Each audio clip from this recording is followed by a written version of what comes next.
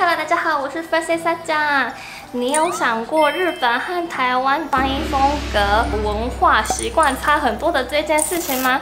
啊，今天场景看起来不太一样，因为我找了可以拍全身的地方，被仓库。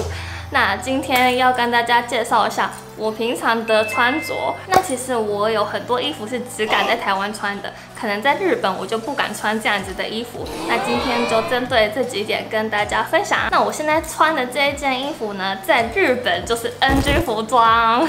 我先看一下这个全身。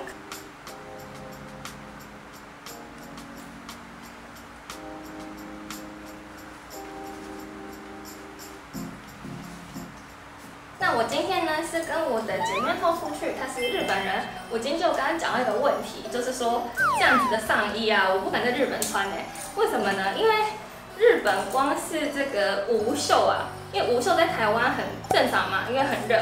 但是这个在日本算是ちょっと露出度が高い， 就是比较就这样子已经在日本算比较酷路一点的这样。那我觉得台湾对这个衣服的自由度很高，给予都给它盖，所以可能就是有人穿这样子走在街上，台湾人也不会觉得怎么样。但是在日本的话，就算是比较 露了这样子，虽然是长裤，可能还有肚子这边有一点开。对，那我觉得台湾近几年好像也很流行这一种，就是哪里有洞啊的这种衣服。那这种衣服呢，在日本基本上是走在街头上看不太到有人会穿这样的衣服，所以裤子我觉得。可以，但是这个上衣我可能在日本也呃不太敢穿。不过日本人也很喜欢我下脸，就是喜欢打扮嘛。那这种的衣服日本人也会喜欢，但是他们可能就是买来就是都穿去什么巴黎岛啊，就是那种去度假的地方可能才敢穿。嗯，所以大家也会发现你在台湾看到的日本人，他们穿着也会比较开放一点。好，个是我平常健身的时候会穿去的衣服。这一件的话呢，上衣就跟刚刚差不多，细肩带的问题。当然就是你爱穿什么就穿什么，穿衣服是每个人的自由。你在日本穿这样也不会怎么样，只是说就是不像台湾，好像都是很习以为常。如果在日本的话，可能会比较会被侧目这样子。那假设呢？如果你是去参加那种联谊同事聚会，或甚至是单独跟朋友见面好了，那如果是穿这种的的话呢，对日本来说都是比较 sexy，会被认为太性感。就是在台湾，大家可能都看习惯了，不会觉得怎么样。这一件的重点呢，就是这个裤子，这个。而且题外话，大家知道这个裤子是叫真理裤吗？我第一次听说，哎，我住台湾这么久，我从来不知道这个叫真理裤。我都叫它运动裤，而且呢，还是我的日本朋友告诉我的真理裤，不是生理裤哦。为什么叫真理？留言告诉我一下。这个裤子呢，其实就是一直以来我觉得在台湾都很流行，而且就是各种颜色嘛，有灰色、蓝色啊什么的。尤其在夜市那种很热的地方，就常常看到女生都会穿这个。那我觉得台湾人都蛮喜欢那种运动风，运动风的日文叫 sporty，就是 sporty 那看机这样子。那虽然这种裤子在台湾非常常见，但是呢。这个如果在日本真的真的会被当睡裤，会被以为是睡衣，他讲嘛。所以这个的话呢，真的，除非运动，好像真的日本街上应该就不会看到有人是穿这个这样。那因为台湾天气很热，就像我刚刚说的，自由度很高，就大家都很自在。台湾也是一种我下给打扮嘛，所以就是可能台日的那个文化真的有点不一样。就是可能裤子比较短，然后又比较休闲的关系。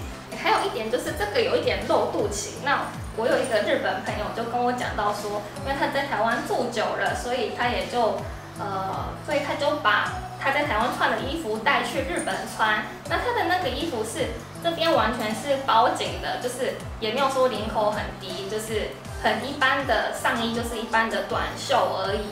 可是。这边好像是斜的吧，就是稍微有一点露到肚脐这样子。然后他这样子走进去麦当劳，他就说有一个杯杯就一直这样子上下，好像就是那种眼神在打量他，所以他就说这个真的很危险，要小心，对大家小心哦。再来就是这个这个背的，那这个就是在台湾很流行的，后面有这一种造型的小可爱。就是常常在路上也会看到有人的背，就是呃，他可能是贴 New Bra 嘛，然后后面就是呃，就是 都是空的这样子。那这样子的装扮呢，可能日本人也会觉得喜欢，也会觉得好看，但是可能就比较不敢在街上这样子穿，所以就是可能就会去度假的时候比较敢穿这样子。好，这个是露肩的衣服，露肩的日文叫做オフショルダー。那它 简称叫做 official 日，那 official 日在日本也很流行，所以呃这一身打扮的话，我觉得在日本是很 OK 的，就是这边这样子一点点是还蛮常见的。然后鞋子，鞋子是长这样子。那题外话，我很喜欢这个耳环，想介绍一下配件。这个是最近很喜欢的耳环，Saiki no Kiniri，那这个。就是最近喜欢的的日文，然后这个 necklace 这个项链呢，也是跟我日本朋友一起买的，一模一样的。那这种呃一对的东西，情侣什么情侣衣呀的那种一对的东西，日文叫做我 solo 衣，我 solo 衣。那或者是也可以讲我 solo。那这个是我跟朋友我 solo，我 solo 得开ました，一起买的，在台湾买的。 看得到吗？嗯，看到吗？看得到吗？好，下一个。我觉得这一套的话，我在日本我也敢穿哎。该怎么说呢？就是虽然这边有点那个，然后这边也有一点点开，但是可能整体性的关系嘛，统一的感觉。怎么说？就是因为是连身的吧，所以就觉得好像哎，这个我在日本敢穿。那它的这个重点比较是在这个后面。的程度，确实在日本也是算比较，就是开比较大的。但是因为还可以套个外套什么的，所以我觉得这个的话，我在日本的街上是还敢穿。对，好，下一个，再来就是今天的最后一套了。啊，那这一套的话呢，我觉得是今天介绍里面最不难的。那不难的日文就是中文的打安全牌，很安全的意思。对，我觉得这个就是不管是约会的场合，还是跟朋友的聚会，那在日本这样子应该就是非常的正常。那因为这个就是蛮女性化的，也不会太个性、太帅气，呃，所以就感觉比较平易近人。那我觉得日本社会上有非常多的固定概念，就是既定印象、既定的观念。像日本有一个观念，会觉得说女生好像年过二十四岁就不能够再穿短裙，就是膝盖以上的，会有这种感觉，真的。那我觉得台湾是很有多元文化的地方，所以也比较自由自在，也不会有这一种穿着上的既定印象。那其实日本的年改变这样子的社会风气，像是有些女生开始会在街上穿那个。米塞布拉出门，那米塞布拉的意思就是说，呃，来自米塞的，就是给你看的日文，加上布拉，就是胸罩内衣的意思，女生的内衣。对，那米塞布拉就是说可以让人家看的内衣的意思，就是是比较，呃，应该说很健康运动的感觉吗？日本的节目，就是有去采访这样子的人。